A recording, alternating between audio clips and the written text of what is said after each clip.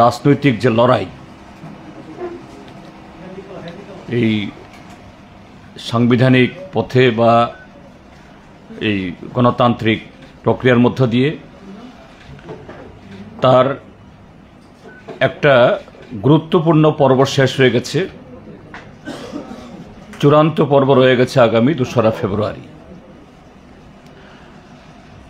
তো এই মুহূর্তে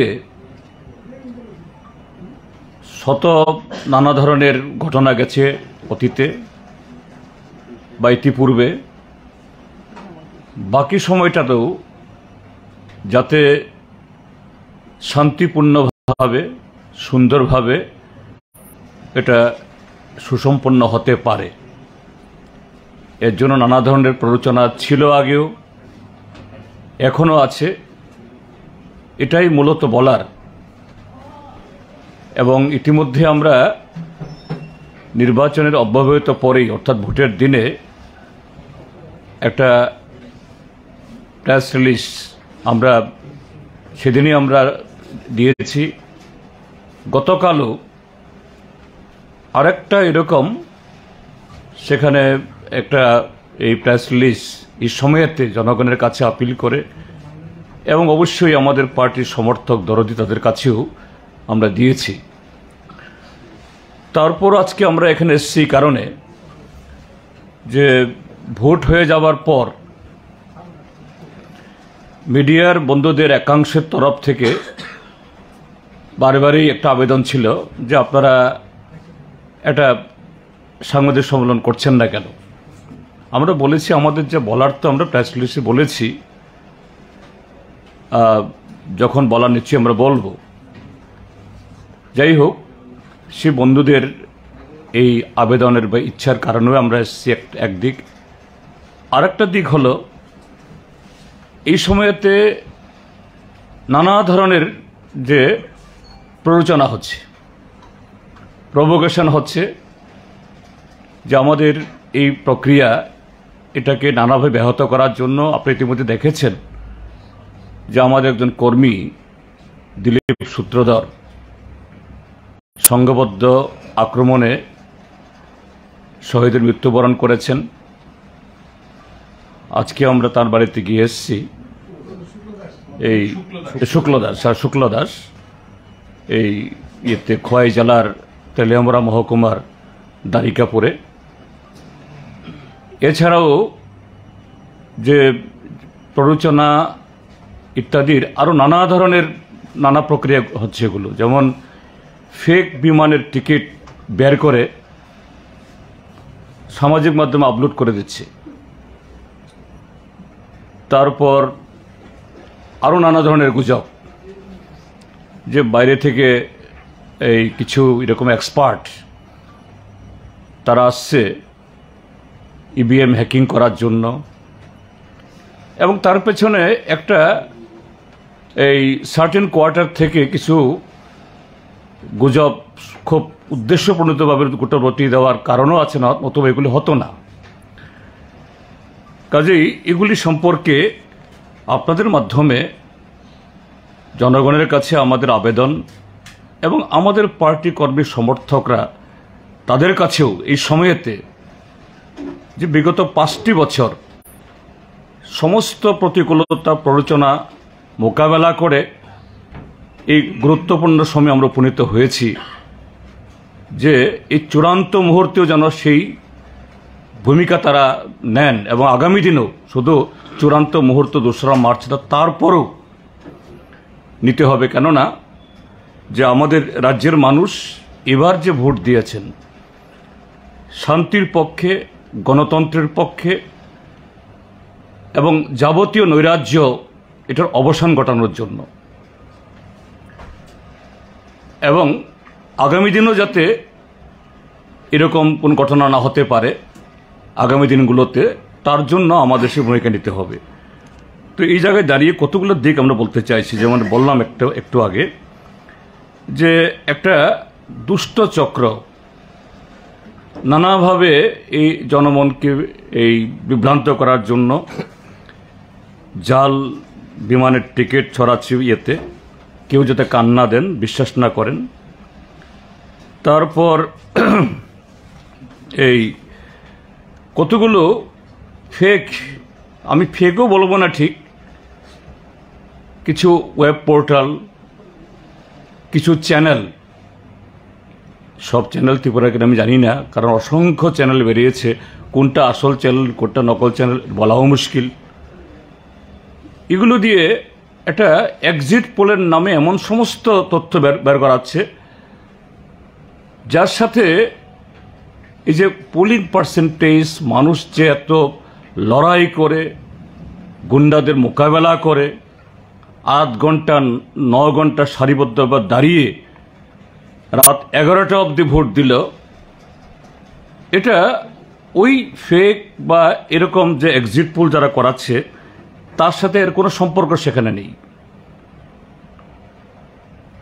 এর পেছনে নিশ্চয়ই সে শক্তিগুলো কিরণব থাকতে পারে, যারা এই সমস্ত কায়দা করে গত পাঁচটা বছর বিভিন্ন নির্বাচনে যারা এই ছিনে নিয়েছিল, সেখানকার টিকিট, রিগিং করে, রাহাজানি করে এবং এই প্রহসনে পরিণত করে হয়তো এই শক্তির, তাদেরই একটা চক্রান্ত থাকতে পারে, এগুলো সেখানে করছে।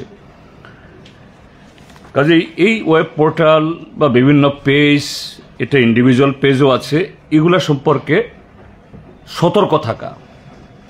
এগুলি যারা এই শান্তি পুনঃস্থাপন করার জন্য, গণতন্ত্র পুনরুদ্ধারের জন্য, যারা অক্লান্ত পরিশ্রম করেছেন এবং এই গত ষোলো তারিখে একটা নজির সৃষ্টি করেছেন নব্বই শতাংশের বেশি ভোটদান করার মধ্য দিয়ে। এটা তাদেরকে মেলায়ন করার জন্য একটা অপচেষ্টা, এর বিরুদ্ধে যে তৈরি থাকতে হবে। এখন এই জায়গাতে যে এক্সিট পোল আমি বলছি না সেরকমভাবে আমিও, কিন্তু যদি এক্সিট পোল যদি সেরকমভাবে হয়েই থাকে, যেটা এক্সিট পোল যেটা বিবেচনা আনা দরকার, সেটা হলো যে আপনারা দেখেছেন যে চোদ্দ তারিখ, পনেরো তারিখ, অর্থাৎ সরব প্রচার শেষ হয়ে যাওয়ার পর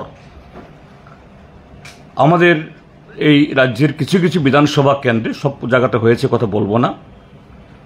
বিগত পাঁচ বছরের ন্যায় নানা নির্বাচনে যেরকমভাবে এই ভয় ভীতি দেখানো, কোনো কোনো জায়গায় এটা মারাত্মকভাবে হয়েছে। সারা রাত ধরে বোমাবাজি হয়েছে। এরকম কতগুলো জায়গা? সেখানে রাত তিনটা অবধি বোমাবাজি হয়েছে। আবার সেই গ্রাম থেকে, সেই পাড়া থেকে চারটা বাজতেই নারী পুরুষ দল বেঁধে ভোট কেন্দ্রে গিয়ে ঢুকেছেন, লাইনে দাঁড়িয়েছেন। সেখানে নিরাপত্তার দায়িত্বে থাকা এই জওয়ানরা, তারা অবাক হয়েছে, নারী, এত তাড়াতাড়ি কি? দুই হলো এত কিছুর পরও নব্বই শতাংশের বেশি যে ভোট প্রদান। তিন, সোশ্যাল মিডিয়াতে এসছে, কোনো কোনো চ্যানেলও কভার করেছেন খুব দারুণভাবে, তাদের বক্তব্য প্রচার করেছেন। যে মহিলারা, দেখা গেছে লাঠি সুটা নিয়ে গুন্ডারা গত পাঁচটা বছর যেরকমভাবে করছিল, এদেরকে বাধা দিয়েছে। কিন্তু তারা রুখে দাঁড়িয়ে ভোট কেন্দ্রে এসছেন, কোনো কোনো জায়গাতে নিরাপত্তা বাহিনীর সাহায্য চেয়ে এবং ভোট দিয়ে তারা ফেরত গেছেন। তারপর হলো যে প্রত্যেকটা ভোট কেন্দ্রে কি সমতলে কি পাহাড়ে। সকাল থাকতেই একেবারে ভোট শুরু হওয়ার দেড় দুই ঘণ্টা আগে থাকতেই শত শত মানুষের লাইনে দাঁড়ানো এবং ঘণ্টার পর ঘণ্টা দাঁড়িয়ে তারা ভোট দিয়েছেন রাত এগারোটা অবধি। তো এই ঘটনাগুলো যে অত্যন্ত উল্লেখযোগ্য দিক, এরপরে আরও ঘটনা হলো, নির্বাচন কমিশন অফিস থেকে ইলেকট্রাল চিফ ইলেকট্রাল অফিসারের অফিস থেকে বিভিন্ন সময়তে তারা পত্রপত্রিকাকে, মিডিয়াকে তারা দিয়েছেন যে অতীতে যে কোনো নির্বাচনের সময়তে এরকম নির্বাচনের সময় যে কালো টাকা বন্টন করা হয়, ব্যবহার করা হয়, তার বহুগুণ বেশি এবার ধরা পড়েছে। যা অন্য রাজ্যে আমরা শুনতাম, এই ত্রিপুরাজ্যে সেই কালচারে আমদানি হয়েছে। কিন্তু তার সাথে এই রিপোর্ট আসছে যে বহু জায়গায় মানুষ সেই টাকা গ্রহণ করেনি। এবং মানুষ ধরিয়ে দিয়েছে যে অমুক অমুক লোক, তারা এই টাকা নিয়ে ঘুরছে। কাজে এই যে কতগুলো সিমটম যদি কোনো এক্সিট পোল হয়ে থাকে আগামী দিন ত্রিপুরাজ্যের মধ্যে, কি ঘটনা হতে চলছে, এই কতগুলো সিমটমই এটাই বলে দেয় what is going to be happen inevitably on second of March এই কাউন্টিংয়ে এরপর আমি আরেকটা কথা বলতে চাইছি, সেটা হলো যে ইতিমধ্যে শাসক দলের তরফ থেকে দেখেছি দু দুবার সাংবাদিক সম্মেলন করা হয়েছে। হ্যাঁ নিশ্চয়ই সাংবাদিক সম্মেলন করাটা কোনো অপরাধ না। আমরাও করছি, অন্যরাও করবেন, আবারও করবেন। কিন্তু আমাদের রাজ্যের শাসক দল, তারা যে কতটুকু জনবিচ্ছিন্ন, জনগণের প্রতি তাদের যে দায়বদ্ধতা যে সম্পূর্ণভাবে হারিয়ে গেছে। হ্যাঁ নির্বাচনে শান্তি বজায় রাখা সুস্থভাবে নির্বাচন করা, এটা সমস্ত কর্তৃপক্ষের দায়িত্ব। শুধু নির্বাচন কমিশন না, তারা তো তার দায়িত্ব পালন করার চেষ্টা করছেনই।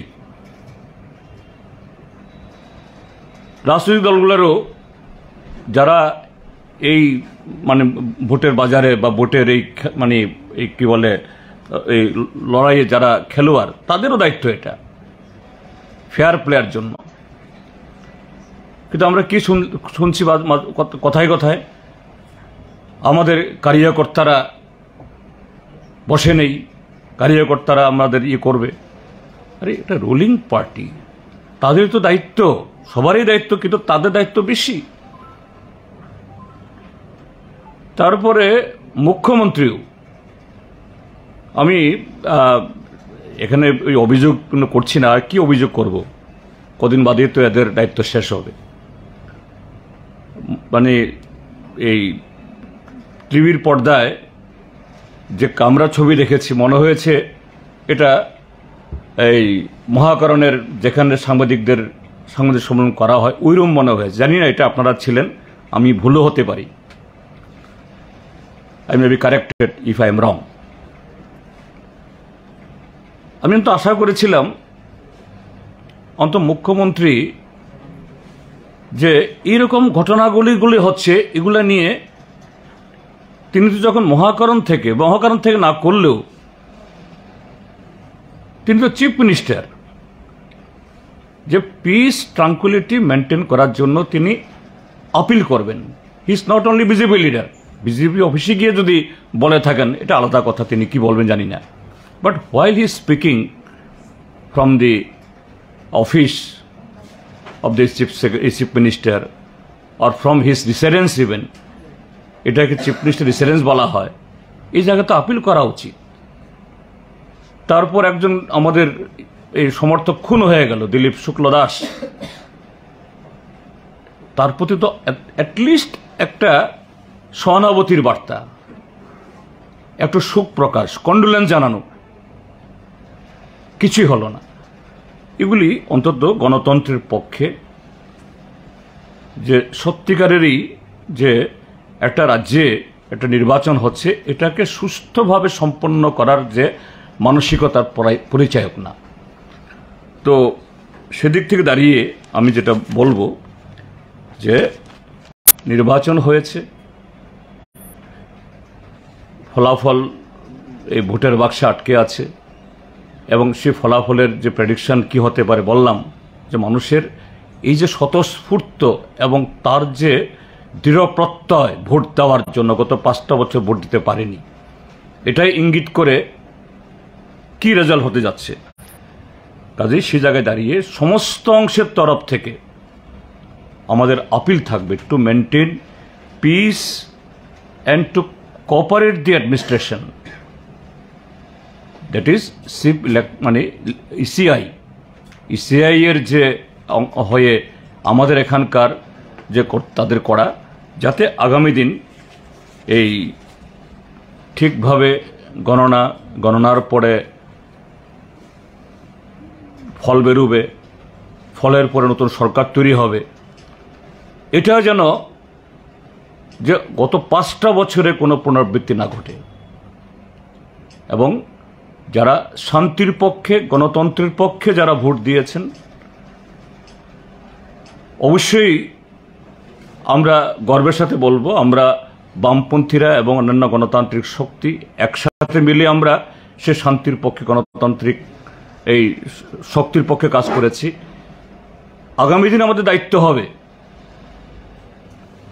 যে প্ররোচনা যাই থাকুক, এই সমস্ত প্ররোচনাকে যে হটিয়ে রুখে দিয়ে শান্তি বজায় রাখা এবং রাজ্যটাকে তার যে পরিচিত বা যে শান্তি সৌহার্দ্যের যে আমাদের সুনাম ছিল, সেই পথে আবার ফিরে আসে। তার পক্ষেই এ রায় হয়েছে এবং সেটাকেই আগামী দিন আরও সংহত করে এগিয়ে যাওয়ার জন্য সমস্ত রকমের দায়িত্ব যাতে জনগণ গ্রহণ করেন এবং আমাদের যারা এই কর্মী সমর্থক দরদি তারা একটা যোগ্য এই ভূমিকা পালন করেন। এটা আপনাদের মাধ্যমেও বলব আমাদের চ্যানেলও আমরা বলছি আপনাদের মাধ্যমে আমরা বলব। এটাই মূলত আজকে এই কথাটা বলার জন্য আমরা আপনাদের সামনে এসেছি। আমি একটু দাবি কমিশন আপনি এতক্ষণ আমাদের সম্পাদকের কাছ থেকে শুনেছেন নির্বাচনোত্তর পরিস্থিতিতে যে সন্ত্রাসের বাতাবরণ তৈরি করেছে এবং সেটা অব্যাহত চলছে। দোসরা মার্চ যত এগিয়ে আসবে, এটা বেড়ে যাওয়ার সম্ভাবনা আছে। মুখ্যমন্ত্রী এবং শাসক দলের তরফ থেকে এটা চলছে, অনবরত গুজব চলছে। এরকম পরিপ্রেক্ষিতে, পরিস্থিতিতে ইভিএম সংরক্ষণ টোয়েন্টি ফোর ইন্টু সেভেন তার কঠোর নিরাপত্তা বলয়ের মধ্যে রাখা এবং সমস্ত রাজ্যের সমস্ত জনগণকে সতর্ক, সজাগ, গুজব সম্পর্কে থাকা এই সমস্ত কিছু পরেও আমার অনুরোধ থাকবে, আমরা দাবি করব, নির্বাচন কমিশন প্রচণ্ড পরিশ্রম করেছেন, আপনারা করেছেন, নিরাপত্তা বাহিনী করেছে, গণনা সুষ্ঠুভাবে সম্পন্ন করবার জন্য আমাদের দাবি থাকবে। দুই তারিখ ষাটটা বিধানসভা কেন্দ্রে ষাটটা সেন্টারেই গণনা একসঙ্গে আরম্ভ হবে। কাজেই এটা খুব কঠিন ব্যাপার নয়, খুব সহজ ব্যাপার। যারা কাউন্টিং সুপারভাইজার থাকবেন এবং কাউন্টিং অ্যাসিস্ট্যান্ট থাকবেন, তারাদের স্ব এলাকার বাড়ির বাইরে স্ব এলাকার কর্মক্ষেত্রের বাইরের অফিসার এবং কর্মচারী সেক্ষেত্রে নিয়োগ করা দরকার। এবং এর দরকার এই জন্য এটা ইলেকশনের নিয়মের মধ্যেই আছে। নিজ বাড়ির এলাকাতে বা নিজের কর্মক্ষেত্রে এলাকাতে মানুষের সঙ্গে একটা সম্পর্ক গড়ে উঠে, এটা যদি না হয়, তার জন্য এটা করা সম্ভব। যথেষ্ট যোগ্যতা সম্পন্ন, অভিজ্ঞ, দক্ষ কর্মীদের নিয়োগ করা দরকার। নতুবা ভোট গ্রহণের সময় যে ঘটনাগুলো ঘটেছে, কিছু অনভিপ্রেত ঘটনা ঘটেছে। ইভিএম নষ্ট ইভিএম মেশিন স্লো কোথাও কোথাও ভোটার ঢুকে গেছে আইডেন্টিটি কার্ড ছাড়া। এটা হচ্ছে নির্বাচন কর্মীদের একাংশের ছোট্ট একটা অংশ হলেও তাদের দক্ষতার অভাবের কারণে। আমি নির্বাচন কমিশনের কাছে অনুরোধ করব যে গণনা কেন্দ্রে যেন সুষ্ঠুভাবে সম্পন্ন হতে পারে। ওই যেই কেন্দ্রের গণনা হচ্ছে, সেই গণনা, সেই কেন্দ্রের বাইরের অফিসার, কর্মচারী যেন নিয়োগ হয়, যেন সেই কেন্দ্রের উনি ভোটার না হন, সেই কেন্দ্রের চাকরি না হন, এবং নিরাপত্তা ব্যবস্থা যেন ভিতরে বাইরে নিরাপত্তা ব্যবস্থা যেন সুদৃঢ় রাখে। এই প্রসঙ্গে একটি কথা বলে রাখি, দুই তারিখ মার্চ। সিবিএসসির টেন্থ এবং টুয়েলভদের পরীক্ষা আছে। আপনারা সতর্ক থাকুন, এটাই আমি বলছি, আমাদের রাজ্যবাসী সতর্ক থাকুক। রাজনৈতিক দলগুলো, আমরা এই ব্যাপারে দৃঢ় সংকল্প যে আমাদের তরফ থেকে এই যে ছেলেরা, আমাদের ছেলেমেয়েরা, মেয়েরা স্কুলে পরীক্ষা দিতে যাবে, আসবে তাদের অবস্থা বুঝতে পারেন, আর তখন থাকবে সমস্ত কাউন্টিংয়ের উত্তেজনাটা। এই উত্তেজনাটা যেন প্রশমিত হয়। আমরা শাসক দলের কাছ থেকে প্রত্যাশা করি না। ত্রিপুরার নির্বাচক মণ্ডলী নাগরিকদের কাছে প্রত্যাশা করি এবং দায়িত্বশীল সমস্ত সংগঠনের কাছে, আপনাদের কাছে আমাদের, আমরা বিশ্বাস করি যে আপনারা সেগুলো মেনটেন করতে যেন একটা সুস্থ, স্বাভাবিক পরিবেশ থাকে। এটা বজায় থাকে, এটা চেষ্টা করবেন। আমাদের কর্মীদের কাছে আমাদের পরিষ্কার, পরিচ্ছন্ন নির্দেশ হচ্ছে কোনো রকমের উস্কানিমূলক কাজে অংশগ্রহণ করবেন না, প্ররোচনায় পা দেবেন না। আমাদের এমন কোনো কথা বলবেন না যে কথায় প্ররোচনা সৃষ্টি হতে পারে উত্তেজনা সৃষ্টি হতে পারে, আগুন যেন জ্বলতে না পারে। এই কথাটা বলার একটা কারণও আমি যুক্ত করছি, সেটা হলো, আপনারা দেখেছেন, আপনাদের পত্রপত্রে উঠেছে, শান্তির বাজারে রাত নটার পরে, প্রায় দশটা বাজবে তখন হ্যাঁ। তিনটা হ্যাঁ এটাই। শাসক দলের একটা অংশ গিয়ে ভারত মাতাজি মাতা কি জয় জয় শ্রীরাম। আবার তার পরদিনেই তেলিয়ামোড়াতে রাত দশটায় একজন লোক হাজির হয়েছেন। তিনি নাকি ইলেকশন কমিশনের প্রদত্ত দায়িত্বপ্রাপ্ত। তিনি স্ট্রংরুমে ঢুকবেন। কাজে নির্বাচন কমিশনের কাছে এই অনুরোধ থাকবে। কাউন্টিংয়ে যাতে নিরপেক্ষতা বজায় থাকে তার জন্য, যেটা বলেছেন নারন্দা, এটা তো আছেই। তার সাথে এই সময়েতে এইভাবে রাত দশটা, এগারোটা, বারোটায় গিয়ে এই যেখানে এই ইভিএম আছে, এখানে গিয়ে প্ররোচনা সৃষ্টি করা, স্লোগান দেয়া শাসক দলের পক্ষে ফেক আইডি নিয়ে ঢুকা। কিন্তু এদের কাউকে গ্রেপ্তার করা হলো না। This is something very wrong উচিত ছিল এদেরকে গ্রেপ্তার করা এবং তাদের ইন্টেনশন কি? কেন তারা আসলো? এজন্য তাদেরকে আটক করে অন্তত এই মানে আইনানুগ ব্যবস্থা গ্রহণ করা এটা করেনি। কাজে এটা যাতে না হয় এটা দেখা দরকার। এটা না হলে পরে যে অন্যত্র এরকম করার এই যে দুষ্টচক্র বললাম যারা নানাভাবে ফেক এই সমস্ত তথ্য ছড়াচ্ছে ফেক এই টিকিট আপলোড করছে নানা ধরনের এগুলি উৎসাহিত হবে এগুলি মোটেই হওয়া বাঞ্ছনীয় না। Anything else Sir, uh, so, uh, you have raised a couple, you have raised a couple of concerns regarding, uh, you know, the efforts being uh, taken according to your party uh, to disrupt the whole process of the counting, uh, you know, process on the second of March. And you said also there are some allegations. Could you please give a brief, uh, you know, about, more about that in English, sir? No, that I have told that in Santi, at Santri Bajar, South Tripura district, in midnight, a group of the ruling party supporters, they chanted uh, the slogan of uh, BJP, Bharat Mata Ki Jai, Jai Sri Ram, and with the intention to terrorize the guards, the security guards, and the volunteers on behalf of the different political parties who have been guarding the EVMs. But astonishingly, the police they have not arrested these people. They should have been arrested, booked against this certain the act, and what is their intention? That should have been that is uh, uh, that is out out.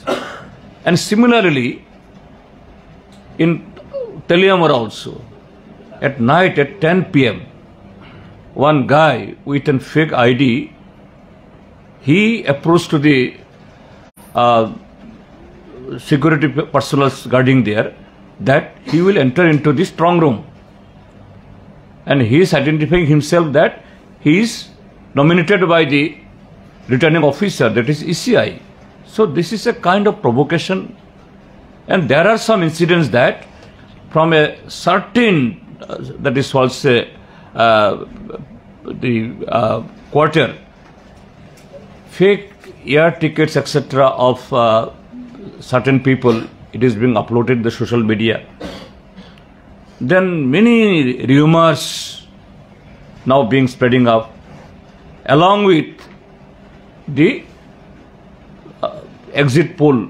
That is all fake all speculation are being circulated. This is to vitiate the situation and to create, to provoke the people and with certain intention that this entire process, now very important process and the what is the finance process is to be over on uh, 2nd March.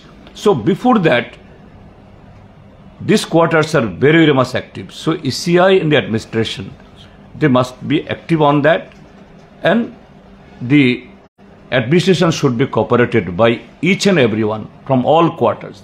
This is our appeal. You have said that uh, there are, you know, uh, uh, the exit polls are giving a fake, uh, you know, uh, prediction about the results. How confident your, your party of the results? And you mentioned that people have come up. Uh, You, you see, if there is any exit poll, that exit poll should be counted on what?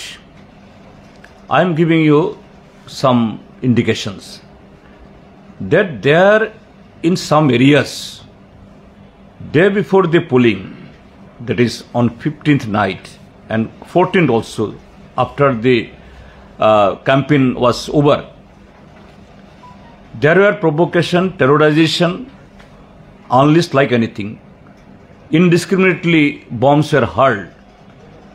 And like the last elections, the by election of Assembly, then 2019 Lok Sabha, there uh, the terrorizing the houses, threatening, etc., phone call, etc., happened.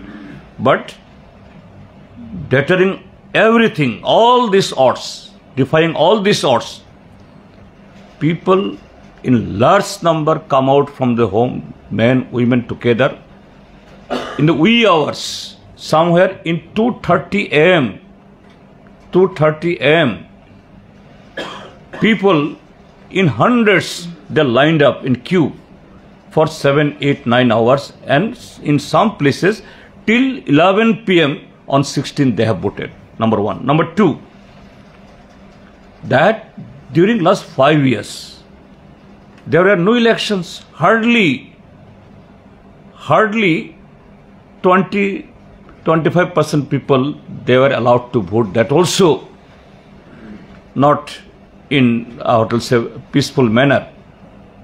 But this time, defying all these odds, more than 90% casting. This is something unprecedented. Something unprecedented. Power cut down. Uh, power cut. Yeah, power cut, etc. So many things happen.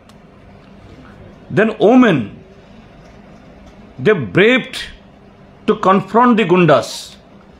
In the social media and some channels, they have very, what says, uh, sincerely, they have published all these things. They have, uh, that is, uh, the, the, uh, it has been uh, broadcast in the news channels.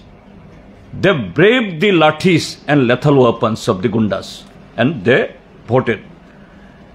Then large number of gathering, both in the hill and plain areas, town and rural areas. This is something that is unusual, not happen. It is not happen in the other part of the country, but Tripura people.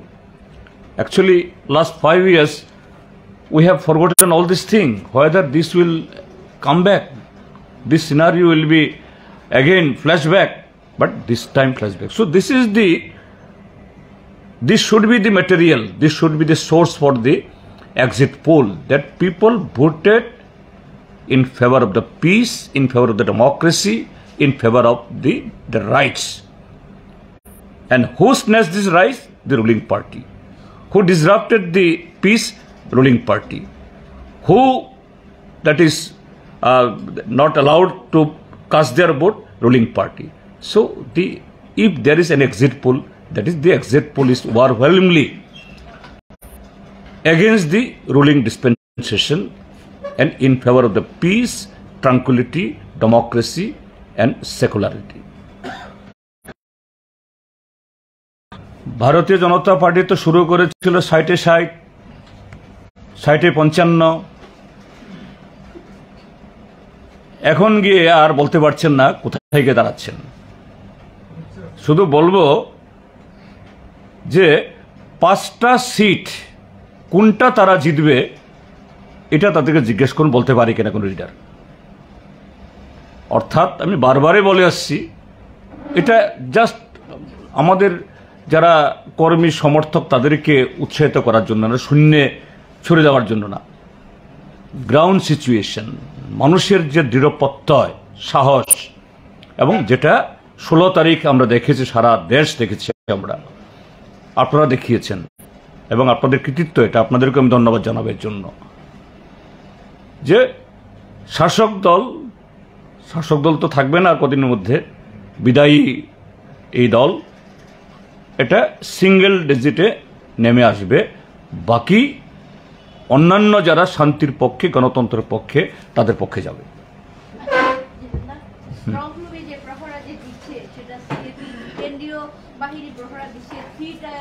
সেখানে ব্যবস্থা করা হয়েছে? না না satisfied তো না হওয়া, না বা হ্যাঁ এটা বলছি না। কিন্তু এই যে ঘটনা কতগুলো হচ্ছে, যে ওটা তো ওয়ান ফোরটি ফোর জারি করা আছে। যে শান্তির বাজার ঘটনা হলো। রাত তিনটা অবধি সেখানে গিয়ে শাসক দলের লোকরা গিয়ে এই ইয়েতে স্ট্রং রুমের এই কি বলে পনেরো বিশ গজের মধ্যে গিয়ে হুইসি করছে। তো এটা যখন হচ্ছে, একটু শঙ্কার কারণ হয়ে দাঁড়াচ্ছে। তেলিয়ামুড়াতে গিয়ে রাত্রিবেলা গিয়ে ঢুকছে যে খুলুন আমি ঢুকবো ভেতরে। হাউ কাম কাজে, এই জন্যই বলা যে ইসিএর কাছে দাবি করা, তার অন্তত দুইশো গজের মধ্যে তো কারোর যাওয়ার কথা উচিত ছিল না। কাউকে অ্যালাউ করা উচিত না। কিন্তু এগুলি যে একটু চিন্তার কারণ হয়ে দাঁড়ায় যদি এটা যাতে না হয়। ইয়েস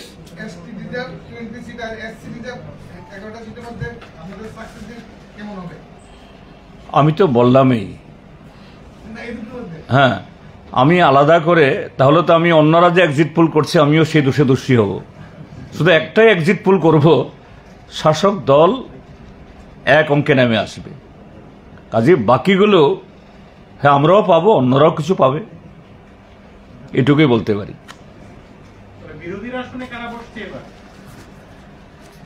এখন মানে কি বলে সাংবিধানিক নিয়মে যে সংখ্যা বিরোধী দল থাকার কথা এরকম থাকবে কিনা আমার সন্দেহ হচ্ছে।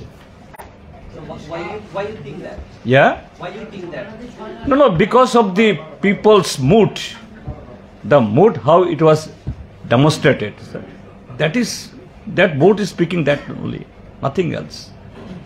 Because last five years, people were refrained from casting their vote. This time, people took it advantage or as a challenge that no, whatever, what that is, I maybe uh, yeah, consequences. They will do that, and they have done it. ঠিক আছে sir. Mm.